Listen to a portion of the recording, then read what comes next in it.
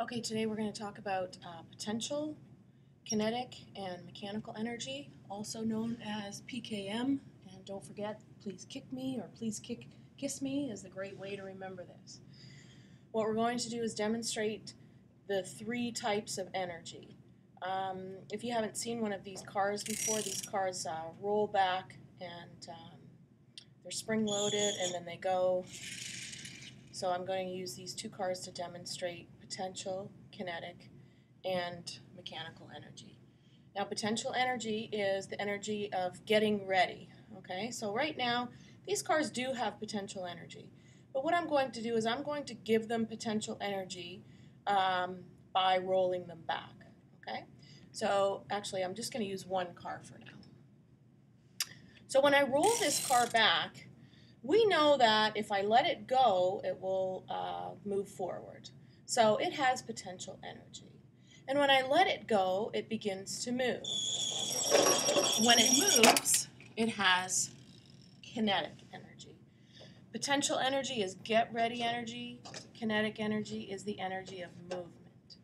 And when an object has both potential and kinetic energy, then it has mechanical energy. And mechanical energy is what allows me to use this car to move the cup. So right now, potential energy, kinetic, and mechanical. So let's take a look at what happens when we have differing potential energies. And I'm going to use the cars again.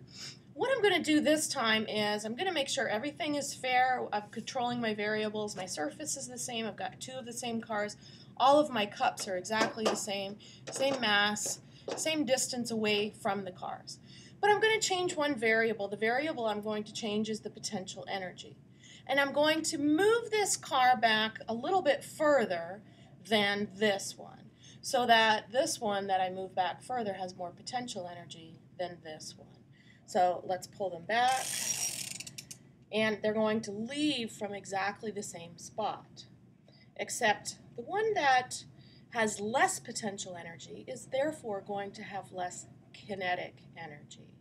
So I'm going to let the one with less potential energy go first.